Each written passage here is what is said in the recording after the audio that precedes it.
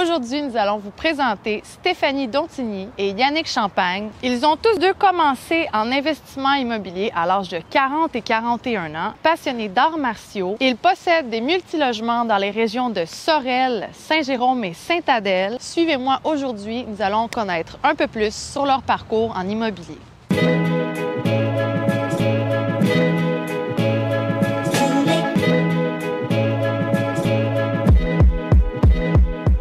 C'est fait au niveau de notre dernière acquisition de maison. La maison avait un grand terrain subdivisé pour faire de la construction. Donc, on a voulu s'informer sur l'immobilier à ce moment-là. Non, on ne possédait pas d'immeuble avant de connaître le club, euh, mis à part la, maison résidentielle.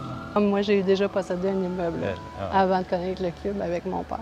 Mais euh, c'était plus des soucis que quelque chose de positif à l'époque. pour moi, ça avait une connotation euh, plutôt négative, l'immobilier à l'époque. Ah, ça a beaucoup changé.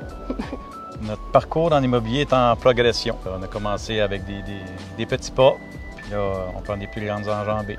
étant donné qu'on est en mode de croissance et on fait des achats en partenariat, c'est d'identifier des partenaires euh, qui sont prêts à investir avec nous.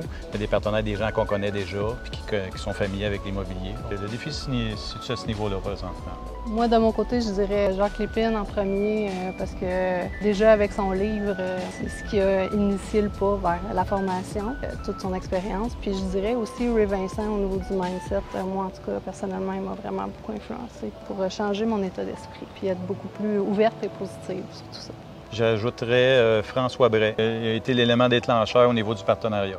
Au club, il y en a tellement. À chaque transaction, il y a un truc différent qu'on va chercher. Mais je dirais vraiment, avec le club, c'est tout le réseau de contacts, mm. les gens, les membres. Aussitôt qu'on a une petite question, on a juste à se retourner vers le réseau, puis on a tout de suite les bonnes réponses si on les euh, a pas, il y a toujours quelqu'un qui connaît quelqu'un qui peut nous répondre. Donc c'est... le truc passe partout, c'est, de connaître le club. pense qu'au quotidien, on est tous les deux dans les, dans les arts martiaux. Fait que ça nous a beaucoup aidé au niveau de la discipline. La discipline, la rigueur, la persévérance aussi. C'est pas du jour au lendemain que, que tu avances puis tu viens ceinture noire. En immobilier, c'est la même chose. C'est pas du jour au lendemain, c'est, toute une question de temps. Faut être patient. C'est là que c'est payant.